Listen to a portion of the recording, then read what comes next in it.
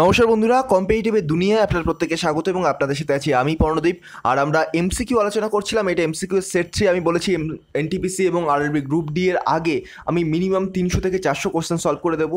সমস্ত আমাদের যে স্টাডি মেটেরিয়ালগুলো চলছে, প্রত্যেকটাই চলতে থাকবে, প্রত্যেকটি ভিডিও সিরিজই আমাদের চলতে থাকবে, কিন্তু মাঝে মাঝে আমি এমসিকিউ সিরিজটা কমপ্লিট করে দেবো। চলুন, আজকেও কিছু কোশ্চেন এনেছি। তো ভিডিওটা শুরু করা যাক, তার পূর্বে ছোট্ট একটি রিকোয়েস্ট এগিয়ে চলো টু পয়েন্ট জিরো চ্যানেলটি সাবস্ক্রাইব করতে ভুলবেন না। এই চ্যানেলে জেনারেল সায়েন্সের সমস্ত রকমের ভিডিও পাবেন এবং এগিয়ে চলো এই টেলিগ্রাম চ্যানেলে আমার প্রতিটি লেকচারের পিডিএফ কালেক্ট করতে পারবেন এবং দুটি চ্যানেলের লিঙ্ক আমি আমার ডেসক্রিপশন বক্সে দিয়ে দেবো। চলুন শুরু করা যাক। আজকের প্রথম কোশ্চেন আছে, দেখুন which treaty was signed after the battle of Buxar in seventeen sixty four তো ব্যাটেল অফ বক্সার বক্সারের যুদ্ধের পরে কোন ট্রিটি বা কোন সন্ধি সাইন করা হয়েছিল? তো সঠিক উত্তর কি?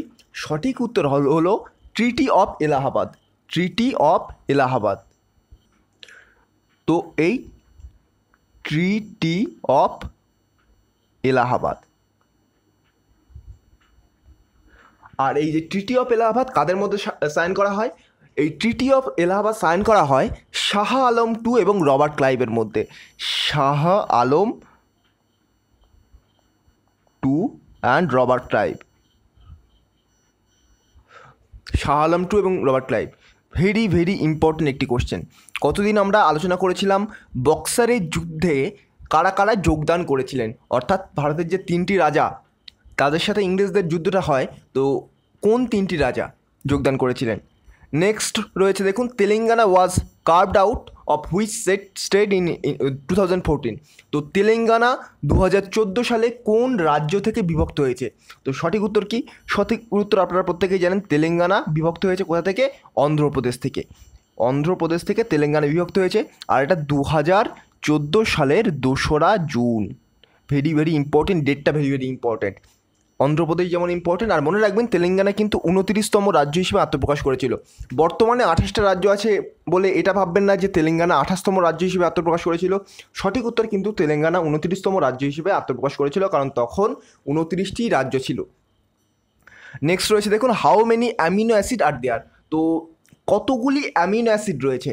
অ্যামিনো অ্যাসিড খুবই গুরুত্বপূর্ণ বায়োলজির পার্সপেক্টিভ থেকে। তো বায়োলজির লেকচার পেতে আপনারা এগিয়ে চলো টু পয়েন্ট জিরো চ্যানেলে অবশ্যই ভিজিট করবেন আর চ্যানেলের লিঙ্ক ডেসক্রিপশন বক্সে দেওয়া রয়েছে।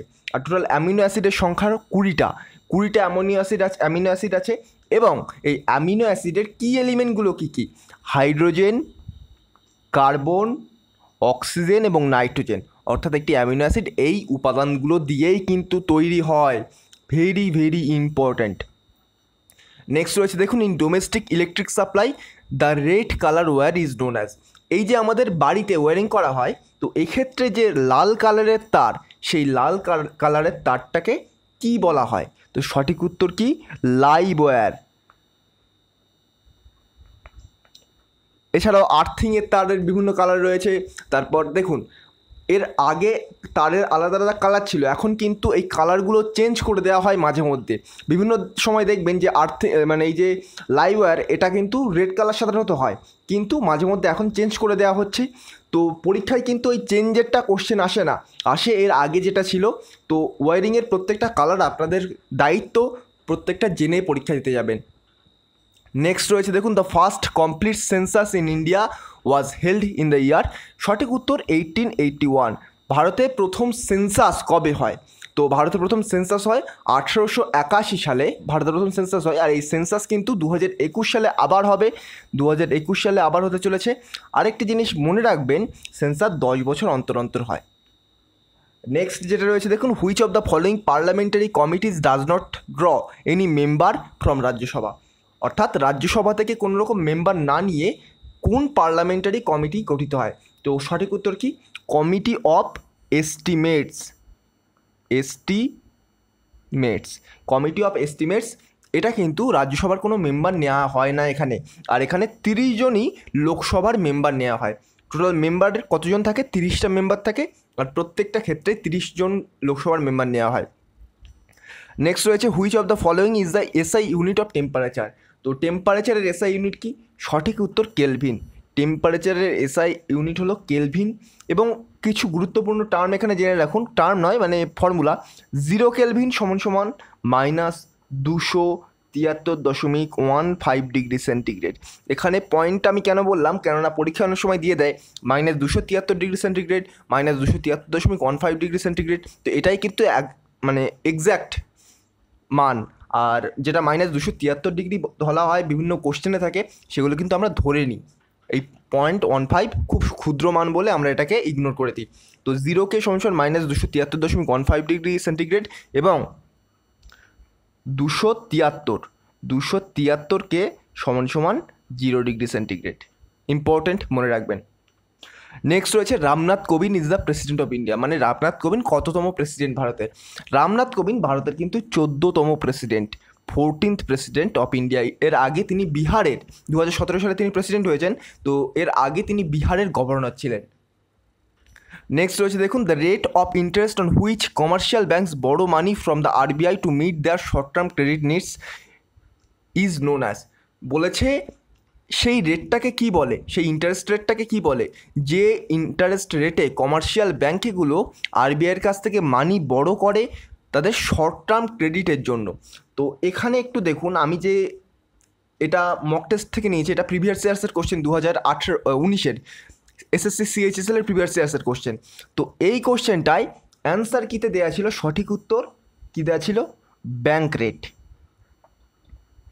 কিন্তু আপনি যদি ইকোনমিতে একটু ভালো করে পড়ে থাকেন, তাহলে বুঝবেন যে ব্যাঙ্ক রেট লং টার্মের লোন শর্ট টার্মের লোন চোদ্দ দিনের মধ্যে, এক থেকে চোদ্দ দিন, সেটা কিন্তু রিপো রেট হয় এবং ব্যাঙ্ক রেট দশ বছর পাঁচ বছর, কুড়ি বছর এরকম লং টার্মের লোন কিন্তু ব্যাঙ্ক রেট বলা হয়। তো সঠিক উত্তর কিন্তু এখানে রিপো রেট হয়ে যাবে। তো আমি যেহেতু অ্যান্সার কিতে ছিল ব্যাঙ্ক রেট তো আমি ব্যাঙ্ক রেটটাই আপনাদের ক্লিক করতে বলব। কারণ এসএসসির অ্যান্সার কিতে ব্যাঙ্ক রেটই দেওয়া ছিল। কিন্তু আপনি অন্য কোনো যদি পরীক্ষা দেন, অবশ্যই সেটাকে রিপো রেটে ক্লিক করবেন আর অপশানের মধ্যে এখানে রিপো রেট দেওয়া ছিল না। তো অবশ্যই ব্যাঙ্ক রেটে আপনারা ক্লিক করবেন। আর আমি ব্যাঙ্ক রেট কি রিপো রেট কি বেস রেট কি, তো এইগুলো রিভার্স রিপো রেট কি, এগুলো নিয়ে কিন্তু আমার ইকোনমি লেকচারে অলরেডি আলোচনা করেছি ব্যাঙ্কিং সিস্টেমে তো ওগুলো দেখে নেবেন, তাহলে এই base rate bank rate repo rate reverse repo rate এগুলো নিয়ে কোনো রকম প্রবলেম আর হবে না। বেস রেট কি? বেস রেট যখন বললাম, তখন বলেই দিই। বেস রেট হচ্ছে কোনো কমার্শিয়াল ব্যাঙ্ক যে রেটের নিচে লোন দিতে পারে না, সেটাই হচ্ছে বেস রেট এবার ডিটেলস জানতে গেলে আমার ইকোনমি লেকচার দেখে নেবেন, ওটা প্লেলিস্ট করা রয়েছে। নেক্সট রয়েছে দেখুন the audible range of sound for an average adult human beings তো যে রেঞ্জের মধ্যে যে কোনো সাউন্ড একজন অ্যাডাল্ট ব্যক্তি শুনতে পান, তো সেই রেঞ্জটা কত? তো সঠিক উত্তর, কুড়ি থেকে কুড়ি হাজার হার্জ। তো এই হার্জ কি? হার্জ হচ্ছে ফ্রিকোয়েন্সির এসআই ইউনিট। ফ্রিকোয়েন্সির এসআই ইউনিট হচ্ছে হার্জ। নেক্সট রয়েছে দেখুন, আর এই কুড়ি থেকে কুড়ি হাজার হার্জের মধ্যে যদি কোনো শব্দ থাকে, তাহলেই আমরা সেটা শুনতে পাবো। যদি তার বাইরে শব্দ থাকে, তাহলে কিন্তু আমরা এই ফ্রিকোয়েন্সির বাইরে থাকলে আমরা কিন্তু সেই শব্দটা শুনতে পাবো না। নেক্সট রয়েছে দেখুন the plugged fields have been found at which among the following sites of Harappan civilisation তো হরপ্পা সিভিলাইজেশনের কোন এরিয়াতে কর্ষণরত জমি পাওয়া গেছে? তো সঠিক উত্তর কি? সঠিক উত্তর কালীবঙ্গান কালীবঙ্গান। যারা এসএসসি এবং এনটিপিসির পরীক্ষা দিতে যাবেন এবং গ্রুপ ডির এক্সাম দিতে যাবেন, তাদেরকে আমি একটা রিকোয়েস্ট করব যে অবশ্যই কালীবঙ্গান, ধোলাভিরা, তারপরে রাখিগড়ি এইগুলোর বর্তমান কোথায় অবস্থিত বর্তমানে, এগুলো কোথায় অবস্থিত সেগুলো অবশ্যই জেনে নেবেন এবং কোন নদীর তীর অবস্থিত সেটা অবশ্যই জেনে নেবেন। এগুলো কিন্তু পরীক্ষায় আসে স্পেশালি এসএসসি এবং এনটিপিসির ক্ষেত্রে। নেক্সট রয়েছে দ্য হিল স্টেশন অফ মাথা sorry Matheran is located in এটা হলো কোথায়? মহারাষ্ট্রে। মহারাষ্ট্র। তো মহারাষ্ট্রে কিন্তু এটা অবস্থিত। আর মনে রাখবেন, এটা কিন্তু এর হাইট আটশো মিটার আর ওয়েস্টার্ন ঘাটের মানে সমুদ্রপৃষ্ঠ থেকে হাইট আটশো মিটার ওয়েস্টার্ন ঘাটে। নেক্সট রয়েছে the wave used in radar system আর কোন ওয়েব তো রাডার সিস্টেমে কোন তরঙ্গ ব্যবহার করা হয়? এখানে ইনফ্রারেড বলে ভুল করে অনেক স্টুডেন্ট কিন্তু ইনফ্রারেড নয়, এখানে কিন্তু রেডিও রেডিও ওয়েভ ইউজ করা হয়। তো র্যাডারের ফুল ফর্ম কি? র্যাডারের ফুল ফর্ম যদি আপনারা জানেন, তাহলেই আপনারা অ্যান্সারটা সঠিক করতে পারবেন। আর না হলে র্যাডারের ফুল ফর্ম না জানলেও আপনারা যদি জানেন, তাহলে ঠিক করতে পারবেন। র্যাডারের ফুল ফর্ম কি? Radio detain detection and ranging radio detection and ranging এটাই হচ্ছে র্যাডারের full form very very important next রয়েছে in the field of information and communication technology what is the full form of FDD অর্থাৎ information and communication টেকনোলজিতে FDD এর full form কি? Very very important previous ইয়ার্সের question এটা এসএসসির floppy disk drive FDD এর full form হচ্ছে floppy disk drive very very important next রয়েছে দেখুন in the context of digital computers which of the following pairs of digits is referred to as binary code তো digital কম্পিউটারের ক্ষেত্রে binary code কোনগুলো use করা হয়? এখানে এই কোশ্চেনে অপশান থাকবে জিরো এক জিরো দুই, এক দুই দুই তিন এরকম অপশান থাকবে। কিন্তু বাইনারি কোডের ক্ষেত্রে কিন্তু কম্পিউটারে জিরো আর এক ইউজ করা হয়। কম্পিউটার জিরো আর একের কম্বিনেশন ছাড়া কোনো কিছু কিন্তু পড়তে পারে না, বুঝতে পারে না। কম্পিউটারের ল্যাঙ্গুয়েজে binary code zero and one next রয়েছে which of the following is not an antivirus software এই ধরনের কোশ্চেনে অপশান কেমন থাকে? এটাও প্রিভিয়াস ইয়ার্সের কোশ্চেন এই ধরনের কোশ্চেনে অপশান থাকবে একটা সফটওয়্যারের নাম বলে দেবে। সেই সফটওয়্যারের সাথে তিনটে অ্যান্টিভাইরাস সফটওয়্যারের নাম বলে দেবে। তো সফটওয়্যারটার নাম যদি আপনি জানতে পারেন, তাহলে মানে সফটওয়্যারের কথা বলতে মানে অপারেটিং সিস্টেমে ভুল বললাম আমি। অপারেটিং সিস্টেমের সাথে তিনটে অ্যান্টিভাইরাস সফটওয়্যারের নাম বলবে এখানে। তো অপারেটিং সিস্টেমকে যদি আপনি চিনতে পারেন, তাহলে কিন্তু অ্যান্সারটা অবশ্যই আপনি ঠিক করবেন। তো ধরুন অপশান দেওয়া থাকল লিনাক্স তার সাথে অন্য তিনটে দেওয়া থাকো। কিন্তু লিনাক্স লিনাক্স কিন্তু একটি অপারেটিং সিস্টেম আর লিনাক্স কত সালে? উনিশশো একানব্বই সালে। আর আমি প্রিভিয়াস ইয়ার্স থেকে নিয়েছি, তো সেখানে কিন্তু অপশানে লিনাক্সই ছিল। নেক্সট রয়েছে। Next in which of the following states is Ashtamudi lake situated খুবই ইজি কোশ্চেন অষ্টমুদি লেক কোন রাজ্যে অবস্থিত? কেরালা কেরালাতে অষ্টমুদি লেক অবস্থিত এবং মনে রাখবেন এটা কিন্তু কেরালার কোল্লাম, কে ও এল এল এ, কোল্লাম ডিস্ট্রিক্টে অবস্থিত, এই যে অষ্টমুদি লেক। নেক্সট রয়েছে দেখুন the national institute of mental health and neuro science N I M H A N S is located in সঠিক উত্তর কী হবে? এটা বেঙ্গালুরু বেঙ্গালুরুতে কিন্তু এটা অবস্থিত। The national institute of mental health and neuro science এটা বেঙ্গালুরুতে অবস্থিত। নেক্সট রয়েছে বুর্জাহোম এটা একটা নিওলিথিক সাইট অর্থাৎ আমাদের যে হিস্ট্রি অ্যানসেন্ট হিস্ট্রিতে আপনারা নিওলিথিক সাইট পড়েছেন। তো এই যে নিওলিথিক সাইট বুর্জাহোম এটা কোথায় অবস্থিত? বর্তমানে কিন্তু এটা জম্মু অ্যান্ড কাশ্মীরে অবস্থিত। আর এর এরিয়া কতটা? এটা মানে কতটা খনন করে এটা পাওয়া গেছিল? আঠেরোশো মিটার। নেক্সট রয়েছে দেখুন which of the following is a super computer developed by India তো অপশান এখানে সুপার কম্পিউটার দেওয়া থাকবে। এখানে আমার যে কোশ্চেন ছিল, সেখানে অপশান দেওয়া ছিল। তার মধ্যে সঠিক উত্তর হতো, পরম ইউবা দু হাজার আট। তো পরম যুবাই যেটা দু হাজার আট সালে তৈরি হয়েছিল। তো এটা বাদ দিন, এটা লাগবে না। কেননা অপশান দেওয়া থাকবে সেই অনুযায়ী। বলছে with which of the following sports is derby trophy associated তো ডার্বি ট্রফি কোন খেলার সাথে যুক্ত? ডার্বি ট্রফি কিন্তু হর্স রেসিংয়ের সাথে যুক্ত। হর্স রেসিংয়ের সাথে ডার্বি ট্রফি যুক্ত। ভেরি ভেরি ইম্পর্ট্যান্ট ডার্বি বলে অনেকে ভুল করে, ফুটবল বা ক্রিকেট। নেক্সট রয়েছে তার nineteen seventy nine cricket world cup was won by তো উনিশশো উনআশি সালে ক্রিকেট ওয়ার্ল্ড কাপ কে জেতে? তো উনিশশো উনআশি সালে ক্রিকেট ওয়ার্ল্ড কাপ জেতে ওয়েস্ট ইন্ডিজ।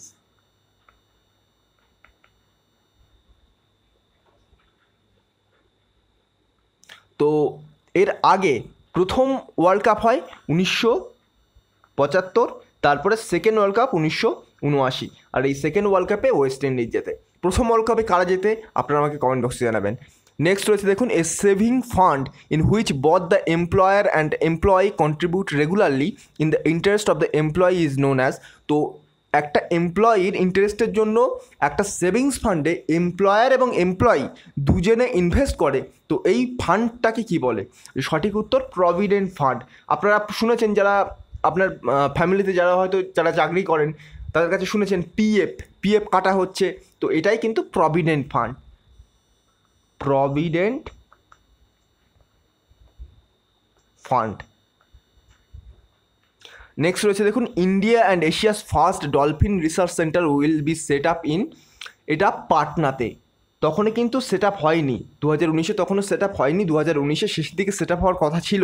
সঠিক উত্তর এটাকে আচ্ছা পাটান লিখে ফেলেছি, পাটনা হবে। পাটনা। বিহারের পাটনাতে কিন্তু এটা অবস্থিত। ইন্ডিয়া এবং এশিয়ার প্রথম ডলফিন রিসার্চ সেন্টার পাটনাতে অবস্থিত। নেক্সট রয়েছে দেখুন with reference to remote sensing technology তো রিমোট সেন্সিং টেকনোলজিতে what does LIDAR stand for তো লিডারের ফুল ফর্ম জানতে চেয়েছে এল আই ডিএআর এর ফুল ফর্ম জানতে চেয়েছে এল এ কি? এল এ হচ্ছে লাইট মানে এল আইতে লাইট ডিতে কি? ডিটেকশান ডিটেকশান আমার হাতের লেখা জঘন্য। Light detection and ranging and ranging এটাই কিন্তু লিডারের ফুল ফর্ম আর এটাকে মনে রাখবেন? এটা কিন্তু এটাকে থ্রি ডি লেজার স্ক্যানিংও বলা হয়। এটাকে থ্রি ডি লেজার স্ক্যানিংও বলা হয়।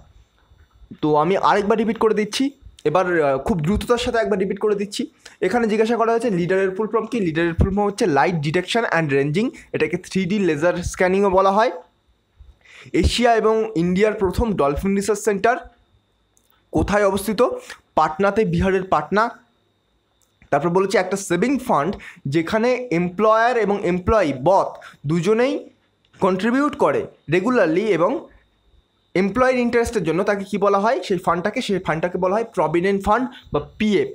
তারপর রয়েছে উনিশশো উনআশি সালে ক্রিকেট ওয়ার্ল্ড কাপ কে যেতে সঠিক উত্তর ওয়েস্ট ইন্ডিজ এবং প্রথম ক্রিকেট ওয়ার্ল্ড কাপ হয় উনিশশো পঁচাত্তর সালে। তারপরে রয়েছে with which of the following sports is the derby trophy associate তো ডার্বি ট্রফি কোন খেলার সাথে যুক্ত? হর্স রেসিংয়ের সাথে। তারপর সুপার কম্পিউটার পরম ইউবা দু হাজার আট সালে যেটি তৈরি হয়, এটা একটি সুপার কম্পিউটার ভারতের তৈরি। বুর্জা হোম একটা নিওলিথিক সাইট এটা কোথায় অবস্থিত? এটা কিন্তু জম্মু এবং কাশ্মীরে অবস্থিত। আর আঠারোশো মিটার এরিয়া জুড়ে। আর the national institute of mental health and neuro science NIMH ANS NIMHANS এটা কোথায় অবস্থিত? বেঙ্গালুরুতে তারপর রয়েছে অষ্টমদি লেক, কোথায় অবস্থিত? কেরালার কোল্লাম জেলায়। তারপর রয়েছে অ্যান্টিভাইরাস সফটওয়্যার, এটা বাদ দিন, কেননা এখানে অপশান লাগবে। তারপর বলছি, দেখুন ডিজিটাল কম্পিউটারের ক্ষেত্রে ওরা বাইনারি কোড কোনগুলো? জিরো আর এক বাইনারি কোড তারপর রয়েছে এফডিডি কমিউনিকেশন অ্যান্ড ইনফরমেশন টেকনোলজিতে এফডিডি ফুল ফর্ম কি?